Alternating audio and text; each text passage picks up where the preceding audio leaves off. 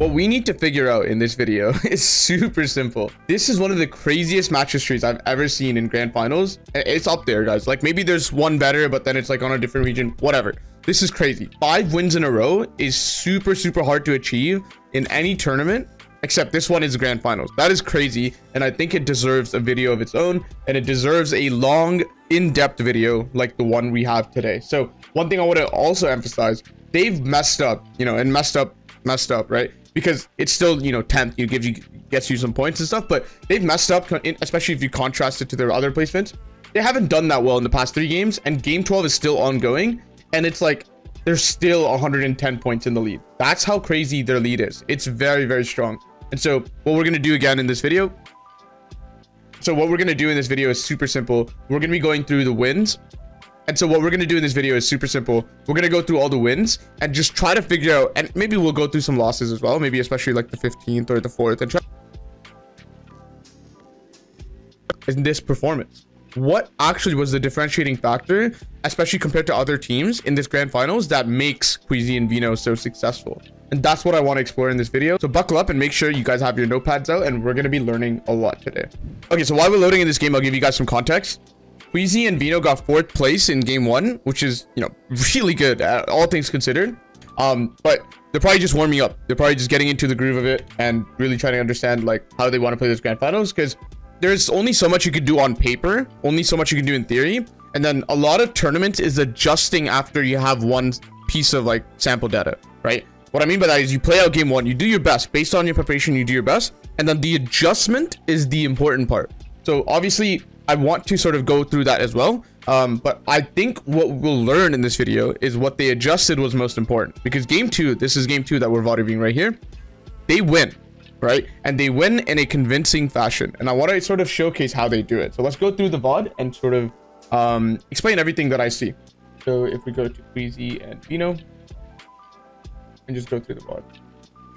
The GXR. Yep. Go play through.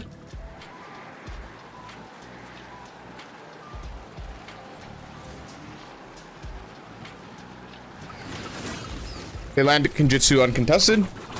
Is, of course, very good. See how they loot. They loot the main...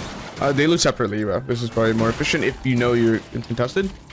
Which they probably did. As you know, like Grand Finals and other set lobby formats, they have drop maps publicized before they go into here. So they probably know for the most part that they're just completely uncontested. They go very, very early. This is a crucial part for any grand finals format uh, or any set lobby format that has heavy surge. You need to go out early, skip some of the looting, do some surge, and then come back, right? And I think that order is very, very important because if you are able to tag people while they're vulnerable, while they're part of their loot pad, or, you know, they're on their loot pad, it is going to be much easier when compared to fully looting and then going for surge uh, after that. So that ordering is very, very specific. And this is very common. This is nothing new. People have done this for grand finals for many, many years. And uh, this is not a new concept. Back when Young Calculator played, this was also a thing. Right? Back on uh, chapter, I think it was chapter 2 map. Yeah, I believe. So getting surge there is very, very good. He potentially cuts off their loop path and picks more loop for himself.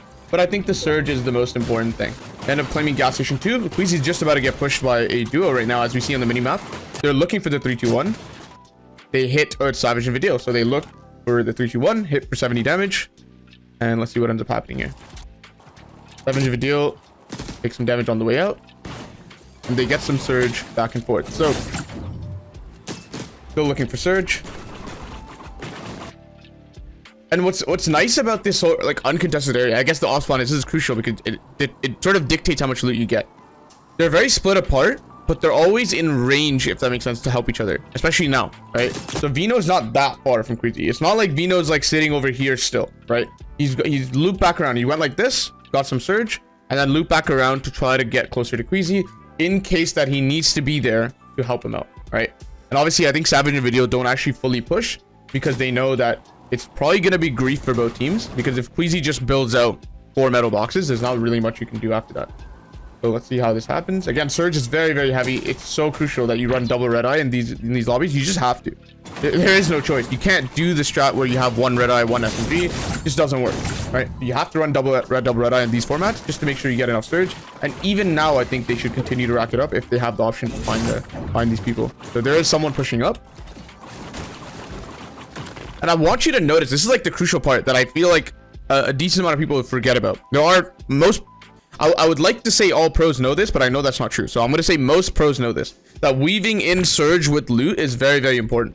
And some people tend to forget that. And then they get like maybe two to three minutes to four minutes of looting and then they go for surge and at that point it's too late so it's very very important that you look for surge early on right? And you try to weave it in back and forth back and forth back from looting into surge mode into surge mode into looting. You just got to weave it in and have it become something that's sort of part of each other right? Meaning you just go back and forth between the two modes. You don't want to have a very stretched amount of looting for five minutes and then go for surge because it's very unlikely that you'll find any because everyone's boxed up now. Everyone has already found their surge. It's almost a race to find the surge because once your surge is satisfactory then you can play defensive from there on out. And i think you'll be very happy to do that because you, surge is a risk you don't want to continuously go for tags especially if there's a risk of getting tagged back right you go for the free shots you go for early surge and then once you feel like hey i'm like 300 above i'm like chilling like even for next zone i'm chilling like now i can sort of relax and then if the whole lobby is already good and you're like one of the last teams to actually solve surge you're not going to find anyone peeking. It's very, very difficult to get surge at that point, which is why it's so important to weave in your surge with your looting path. And almost have your loot path part of your surge. You have to sort of pat in a direction, which gives you surge as well, right?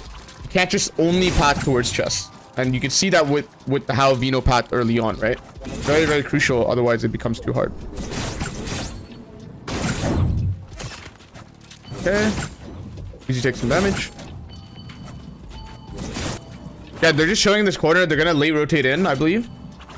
And rotate into edge. And they're pretty dead side as it is. So if you look at the zone right now, and if I go back to Queasy and Veno, and you look at the zone, right? Where's congested side? It would probably be somewhere up here, right?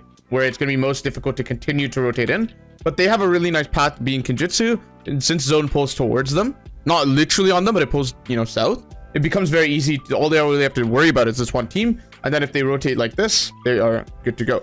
The only con or negative of this path is that you don't get as much surge as you would want compared to this. But you have a positive of a freer rotate and way more mats saved. And you could probably refarm a lot easier back here on this map because it is truly dead side. So that will help you. And they really only have one team to worry about. So that's why they sort of uh, honestly, this is a very good zone pull, pull, for them. If the zone pulled north, I think it would be a whole different story, which is why so many people, if you look on Twitter and other social media platforms, you'll see that people complain, pros complain about this all the time. And it is genuinely something to complain about. There is a huge difference between zone pulling on you versus zone pulling away from you.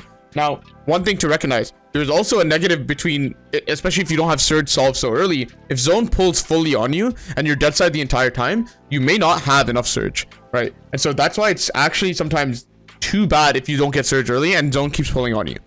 Pros have also complained about this. Um, this is very, very uh, grand finals uh, meta, if that makes sense. This is not something that you need to worry about in round one. You don't have to worry about this in round two. And maybe in round three, you may have to worry about it. It really depends. Um, but I think most round threes after like game four, game five start to die out even, even nowadays. So um, something to keep in mind is that now they're going to progress past this team. Let's see where Veno is. Veno is right behind Queasy, and they're just going to progress exactly the path that I thought they would do because they get to refarm and truly be 555, right? There is a big difference between 555 and like what Veno has. But now because they because of their pathing towards that side, they're to find a lot of refarms, which will give them back the mats that they're missing. And that'll, that'll add up, right? That'll add up at the end, especially in a grand final setting where every mat counts. This refarm will truly help. So let's see what they end up doing. They're to buy a pistol? No, they're not. Okay, so they get their cash. This is another thing you could do with the cash. You know, unfortunately, season's over, but if you figured it out, this is good for you. You could totally use dead side to your advantage to pull the cash towards you.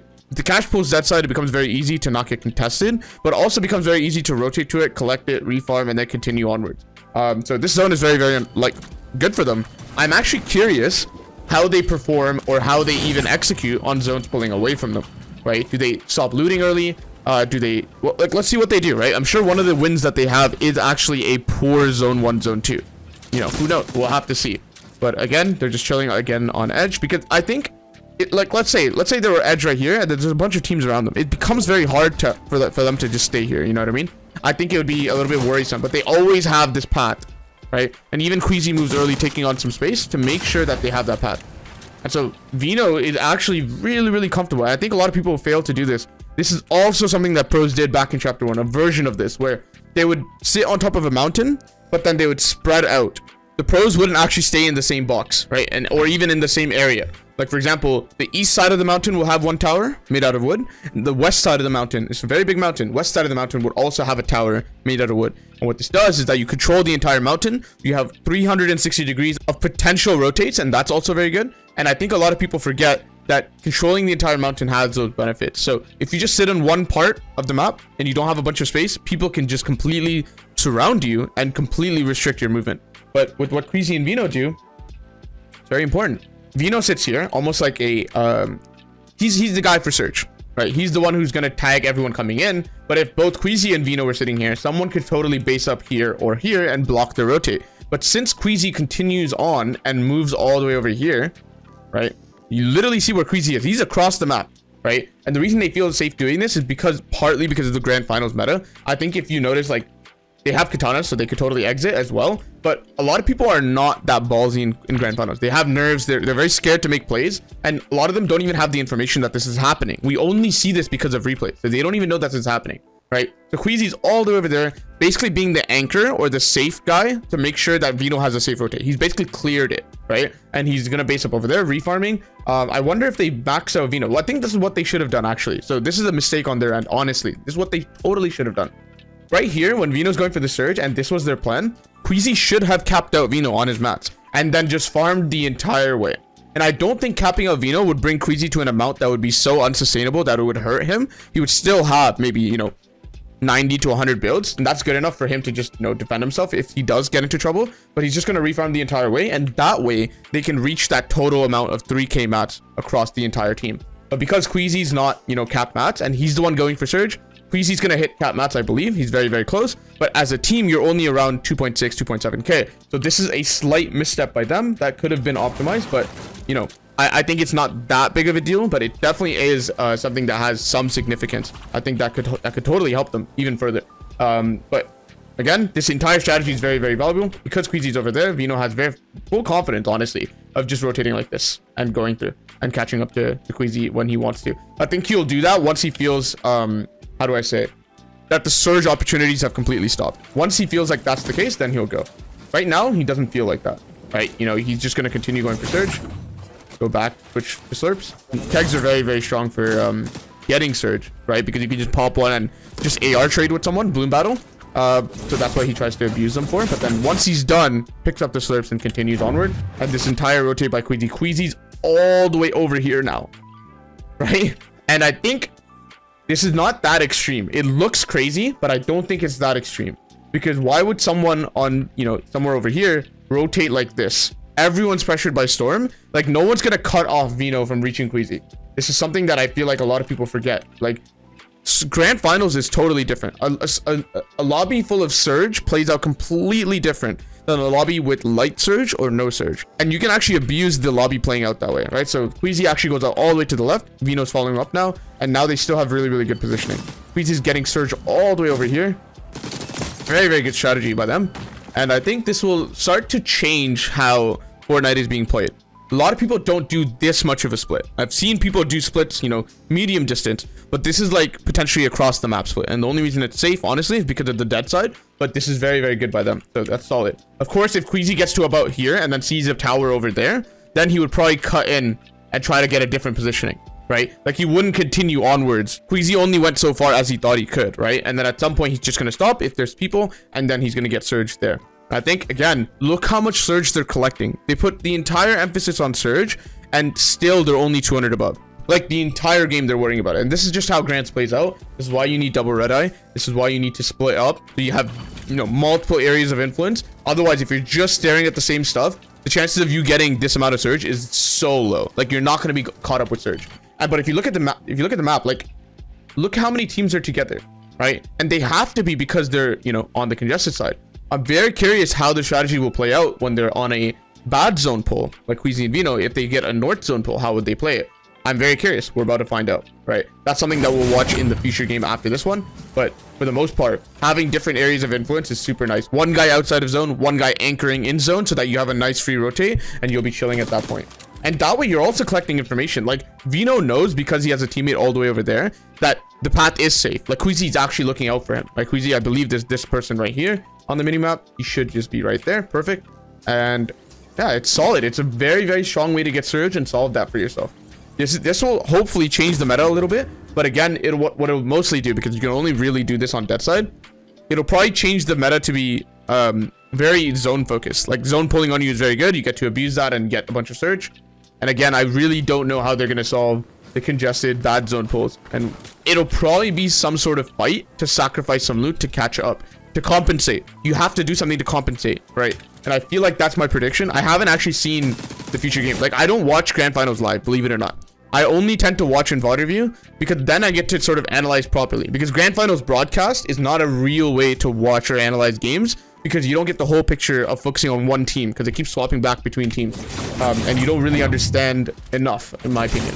You know if i were to watch and i do watch sometimes it's very much for entertainment purposes rather than you know learning or education so. But this is very very strong strategy by Queasy and Veno and i think it's very very nice. Um, and let's see.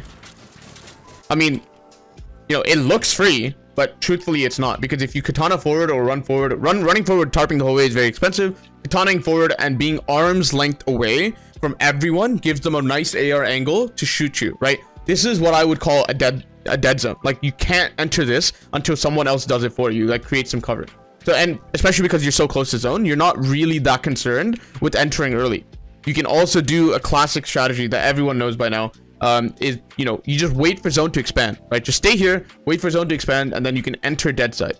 This will also, in turn, make your next rotate really, really free. So I encourage you guys to do that. Like, if you have the opportunity, zone pulls close, but you're not quite in, wait for it to expand, and then go in on dead side if given that opportunity. And it'll be really good. And I predict that is what, what, what these guys will do. Um, honestly, they'll probably katana in, but let's see if they katana in towards dead side. So they go in towards, and, you know, base up all the way in the back, which is really nice. Um, they do it pretty early. Um, I think if they wait too long, it'll probably be troublesome for them because then, you know, people will be here and holding them it'll be really, really hard. So as soon as they see the opportunity to go into these old builds, technically these are old builds. I don't believe some of these wood walls are theirs, right? So that'll create some natural cover for them to actually hide in and, and sort of protect themselves further. Because two boxes sitting right here has a way bigger chance of just getting servered and potentially sprayed for even surge purposes versus going all the way deep, waiting for this to expand and hiding behind old builds of wood. And they still continue to refarm. They still get to hit trees, and that's what Deadside does for you. I think, honestly, that one thing that Veno could have done to cap out, like himself, like Queasy caps him out, could have been even more helpful. But I think it wouldn't have made that big of a difference because of the fact that Surge exists. Like, they actually prioritize Surge over the mats. Like, I think if Squeezy refarmed that much, the surge may not have been as good but let's see. Like let's see how they play this game out. Yeah my point is i think it would have been a good thing to do just not as impactful as you know something like in a regular game because surge is pressuring them so much. They have to they have to deal with it. It's not like they can just cap out 555 mats both of them and just chill. Like they have to deal with surge um even even now. I think at this point it's starting to get to a really good amount. Maybe if they get 100 200 more damage then i think it would be solid. But for now is chilling dead side. Look how much free movement they get. Again, they're just chilling and they get to move around really, really freely. This is what that one thing does. I think rotates, people tend to forget. Rotates are very snowbally. For example, I'll give you a really good example for standard games, just so it's more relatable to you guys. So for a standard game with very little surge or no surge at all, you'll you'll find and, and let me be clear, it's it is still stacked, right? It's very close to the surge amount, but you're not getting zapped at any point. It's very unlike grand final. Let's imagine that for a second. And in this case, you have to understand it's very difficult to go like let's say for one of these zones you rotate late maybe you were fishing maybe you're on a cache and you rotate late right maybe zone three you were on edge it's very very late it's very difficult to go from like zone three or zone four edge to go center because you'll always be late right like the idea is once you make one bad rotate the rest of your rotates are affected. It's very snowbally. It's very interconnected. It's not as independent as most people think. It's not like my rotate for zone three. Okay, check. We're good good to go. We made it safely, didn't use that many mats. You need to think of the entire game holistically. You need to look at it in a, in a complete puzzle, not just pieces of each zone. And a lot of people tend to think of it in pieces, and I think that's what ruins people in terms of their mindset, right? not even mindset, but I guess the way that they look at the game. Because if you look at them as individual pieces, you'll not see how your previous rotate two zones ago has affected how difficult this rotate is now, which has you know potentially gotten you shambles or gotten you scuffed because of the fact that this rotate was so hard and it's because of that previous rotate. So I'll give you a good example, right? Very simple example. Because they choose to go like this, because like this this all is so super interconnected, right? Because they get early surge, that gives them the ability to go dead side. Because again, if you don't get that early surge and you go dead side, you are pretty screwed, right? Because you don't have surge. And that's the one of the negatives of going dead side is that you won't find that much surge, right? Versus being congested side. The positive of being congested side is you find a lot of surge and potentially easier impacts and you know fights and stuff. But there's a very very big negative be with being over here, right? Especially throughout the previous zones as well. Is it each rotate is incredibly difficult. It, it becomes very expensive, right? It becomes very very difficult. So they get early surge, which is relevant because that enables them to find dead side and go like this. That enables them to get refarm. That enables them to continue onwards. And eventually they get another lucky half-half zone pull, which then they continue to go dead side again. But it's important, like a lot of people like just hear dead side, dead side, dead side, and they're just like, I'm just gonna go dead side. What do you need before you go dead side? make sure you have that and try to work work it through as a complete holistic pattern of all the decisions that you make and how they affect each other i think that's what's important and what's honestly missing from um, the intermediate to advanced players in fortnite today they need to understand that the game exists as a whole it's not just piece by piece and I think a lot of people feel sort of relieved, like, oh, we made this rotate. Good job. We're in. We're safe. We didn't use that many mats. And then they're congested side or misposition. And it's really, really hard to see at all for the next rotate. Like, when should we go? I don't know. We can't see right? So position yourself um, with the future in mind. And I think that will help your Fortnite game tremendously. But that's something that Queasy and Veno have shown us is they're sort of understanding like in grand final setting, you need a lot of surge. And so that's why they do that strategy to split up and do the anchoring, one guy in zone, one guy out of zone. All of these all of all of these plans exist because they thought ahead from their past experience, of course, but I think that is what what's ultimately missing for most people. You need to do this. So let's see. Still very, very healthy amount of mats. Pretty, pretty chilling. Uh, I think they could pop a big very, very soon. I wonder why they don't actually. It's not obvious to me. He, he does before they leave. Popped another big. By the way, minis overrated. Why are they overrated? Especially in this meta. Let me be clear. Especially in this meta. Slurps are what you call a panic heal. And they heal whites, right? And I think it's better to be... Uh, like, think about it this, this way as well, right? if you get tagged, and in grand finals you mostly get tagged by AR, right? Like you won't get tagged by SMG or pump or like it's very difficult to get tagged in that in that way unless you've made a mistake macro-wise, right? Bigs heal effectively the same amount as six minis. Three bigs, six minis equal. Bigs obviously take more time, but the advantage that bigs have is that it gets to top you off in the later half of the shield portion, right? But that I would hate to run around with 150 HP, which is what minis does, right? Minis just heals you up to 150. I think bigs are superior in this meta. Now, in other game modes, maybe in round one or whatever, and you don't have slurps in the meta, then maybe minis would be more, you know, beneficial for you. But I think meta is all relative. Like meta always makes things underpowered and overpowered because of the relative other options that you have for items, right? So if slurps didn't exist, minis would actually be pretty good, right? But because slurps exist, minis are not that good. Uh, that's something, a, a, nice lesson that you can take with you for the next meta, the next season, is don't just think like what got nerfed, what got buffed there's indirect nerfs and indirect buffs that you should take into account as well. So continuing on with the gameplay, I think and Veno have just found a really nice two two by one base right here. Uh, and they're just chilling. They went rather early, and I think they're just chilling. So actually, I do want to watch this rotate one more time. So let's just head back once once more and just take a look at this rotate because I do want to see this. Uh, in terms of like the timing, you know, what do they see that makes them decide, hey, I want to go now, right? For, for the most part, they're just getting a bit of surge because I think they should always continue. Never underestimate surge. That's lesson number one. Because like sometimes you're 400 above and then you go into moving and then you're like 50 above or 10 above, right? So like, especially if it's free surge, like meaning you're not risking getting tagged too much for it, totally continue. Don't underestimate surge, especially in a grand finals or even a heat setting. A lot of people in heats, especially because they're not experienced veterans, they tend to underestimate surge a lot. And I think that's what gets them killed uh, a ton in heats. so Definitely get it early. Definitely weave it in with your loop path. Make sure that you're not underestimating it even at this point, even if you're 400 above. They go pretty early, I believe, because of the fact that it's open and zone has exposed itself, right? It's been a few seconds by now. And so this is technically in zone, so they're just going to go in and box up. The idea is very simple for rotates, guys. If it is truly free, and this is the hard part to analyze or judge, I guess, right? That's what makes rotates hard.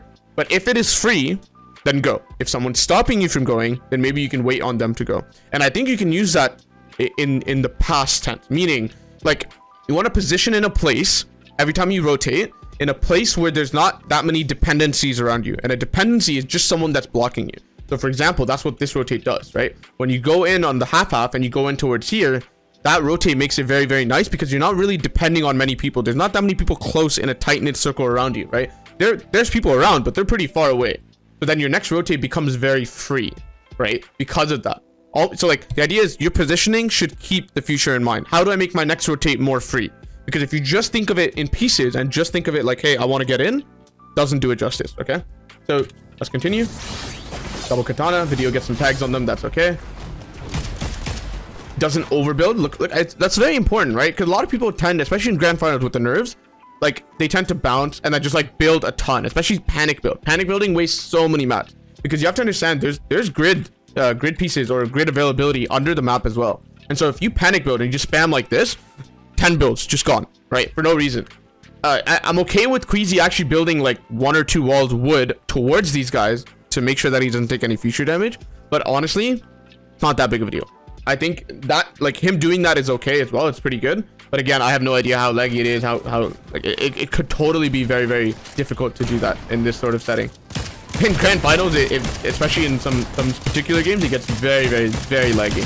Very difficult to play. Again, they're sitting at about 180 builds total, which is very, very nice.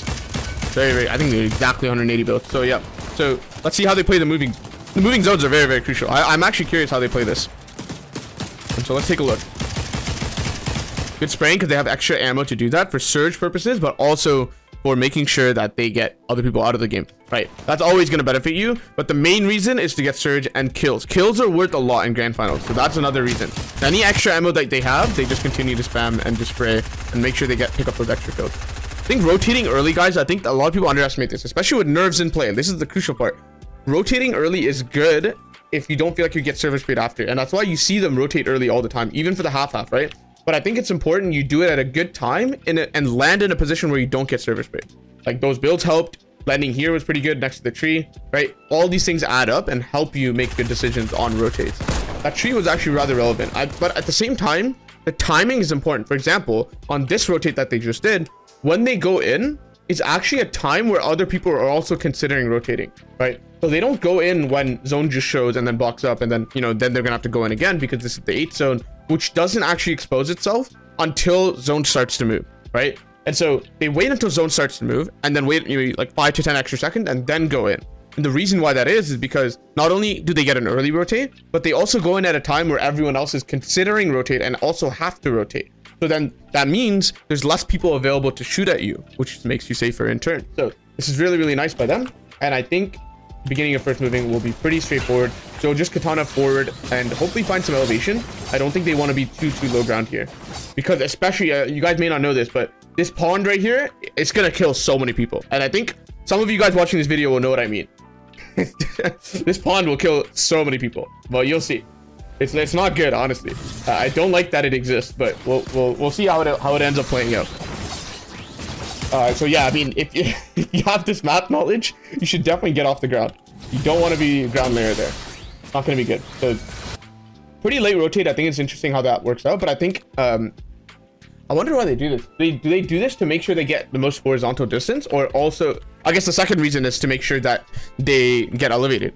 I'm a fan of going late here. I'm not a fan of going last second.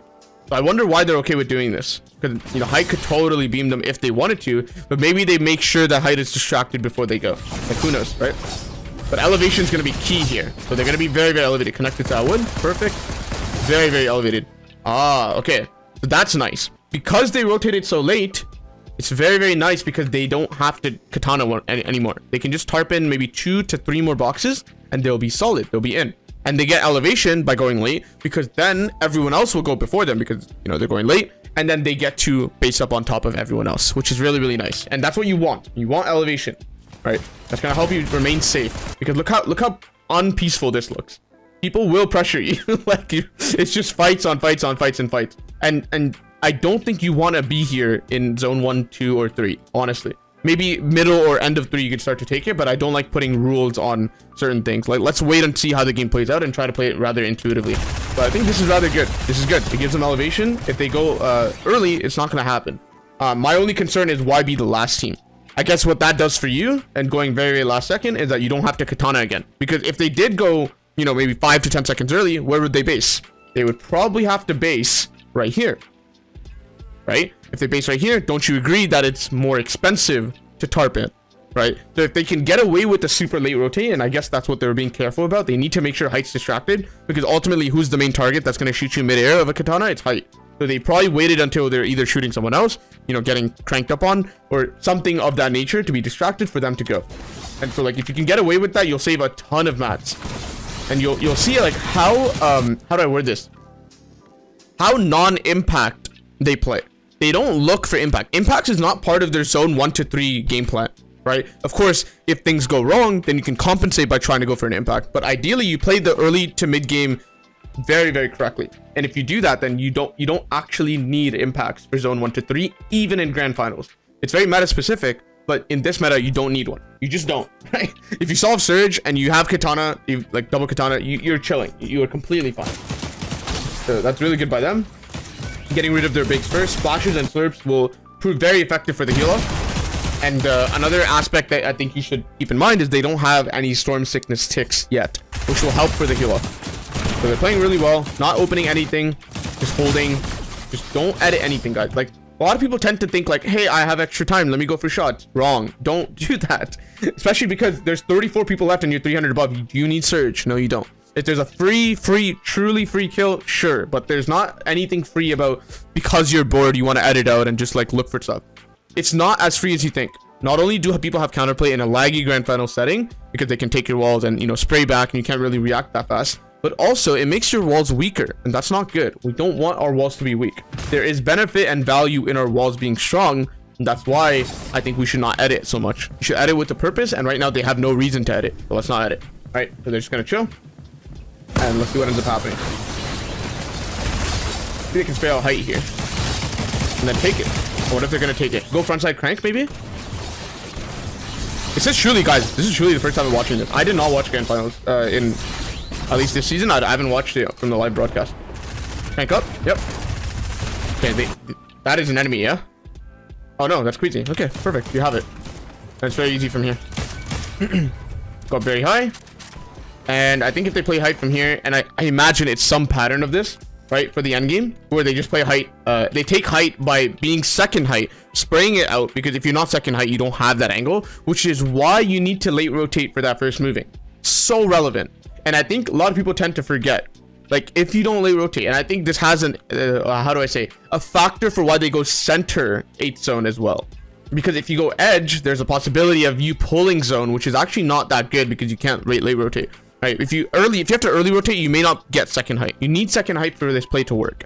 And I think that's like something crucial. You see how it's all connected? It's so sick. This is what makes Fortnite worth playing. Obviously, all the bugs and all the stuff, like it's not. That's that's the stuff I hate. Like for sure, I hope they fixed all that stuff. Um, but Fortnite is such a unique game competitively, and I think a lot of people need to appreciate that. And I think that sort of curiosity and you know love of the game will help you learn because it'll it'll let you understand these sorts of concepts. And this is not, you know, independent or uh, exclusive for grand finals. There are such strategies for round one as well. If you struggle in round one, you just need to be curious enough to look for them. And I think you'll absolutely find plans like this that sort of work, right?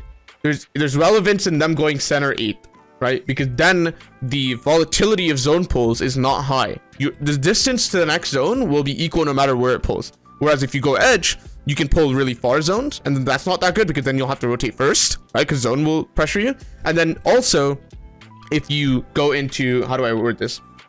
Uh, if you pull zone then you also maybe have to go first. I guess you don't have to go first but you don't want to you don't want to get a far zone pull. So getting center eight would be really really nice right? Because then you get you get to rotate late right? And you get to not have to go immediately because storm's on your back you know what i mean? So that would be really nice. And that's what creates that positioning where which allows them and i imagine if we go look at the other wins it'll be very similar it'll be very very similar.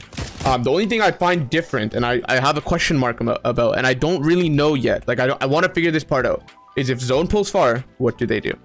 We'll find that out in the future game right here but let's see. It's beautiful man And I think I might actually make another video on a game like that because this game is really, really solid. It's a, it's a classic archetype of pulling zone game, right? So they, they, they address it in a certain way. And I believe the next video that I make will be around how do they solve the game of pulling far. It'll be pretty much very similar, but I think in zone 1, 2, 3, and 4 will be slightly played differently. I, I think you have to play differently. You have to compensate for zone pulling far, otherwise it won't work. Maybe they go into, you know, uh, Mega City and then take the Dragon. Uh, I think that's very risky to do in Grand Finals, so probably not. Uh, I think you'll get tagged the entire time. People are very, very aware. Pros are extremely accurate with their red eyes, so that's probably not going to work, but there'll be some version of rotating early. Um, uh, I don't think tanking Storm will work because then you just can't win. We'll have to see. Let's see where Zone pulls in one of their wins. And try to try to figure out in VOD review that one as well. And you see how I'm VOD reviewing, guys? Like, it's not that hard, honestly. To see, like, I want you to... It, I know it's uh, making it sound like, oh, just think this way. It's so easy. And I know I have experience that allows me to make these, like, conclusions, but uh, I think you'll learn a lot if you just sat down and watched and truly watched uh, a pro play, right?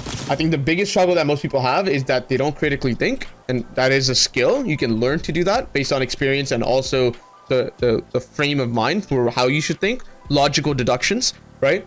Um, and also understanding that pieces are not independent in Fortnite. You should look at it as a whole and plan ahead and look at the past as well and see how that affected your mistake here. Um, and also, and, and just to counteract that point a little bit, sometimes mistakes are just in the moment, meaning you've done everything else correctly. Like literally 90%, the first 95% of the game was all good, and then you make one slight mistake and you're dead. That also exists. The point is when you're VOD reviewing, you need to differentiate between the two so that in the first case, where it is a mistake two, three zones ago, you can fix that because you've realized it. And then in the second case, you can also not be sort of um, overthinking it and just be like, hey, I just made a bad edit here or I rotated with a bad timing and that's just what killed me. It's important to make that differentiation because that's how you can accurately find out where your mistakes are in the world of competitive. So, I mean, the game, I can tell from the beginning once they get height and second moving that the game's just over. It's pretty self-explanatory from here. Honestly, it's not that hard. I mean, there's pressuring. Veno goes down. He has an extra slurp. Queasy has enough heals.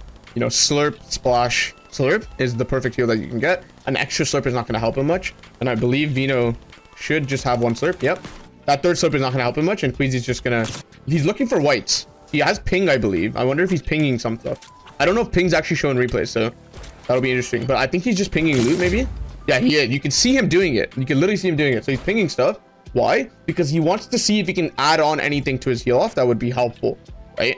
If you could find this sort of loot and see if it would help, maybe the flag, that would be pretty good. One thing to consider about the flag is that, um, and what I'm circling here is not the minimap, but the flag underneath the minimap.